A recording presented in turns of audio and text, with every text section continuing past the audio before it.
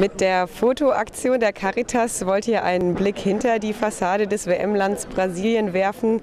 Wie sieht es denn hinter der Fassade aus? Was entdeckt man da? Als erstes wollen wir äh, die Situation, in der wir leben, in unseren Gemeinden zeigen und wie das Volk eigentlich in ihrem Alltag aussieht. Dazu gehört einfach das Zeigen von den fröhlichen Seiten, von den traurigen Seiten, wie das Volk ihren Alltag äh, gestaltet. Erwartet ihr denn äh, Proteste zu der WM?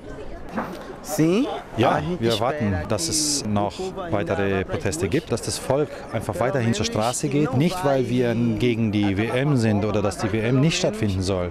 Was wir wollen, ist einfach zu sagen, äh, mit der w oder neben WM muss darauf geachtet werden, auf das, was uns fehlt, eben Bildung, äh, Gesundheit, Kultur. Wo werdet ihr beide die WM schauen?